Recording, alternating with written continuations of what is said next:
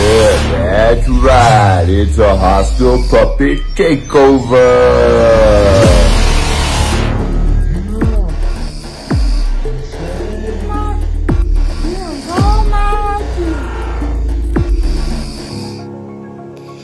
He used to control the puppets. Now we control his Facebook page.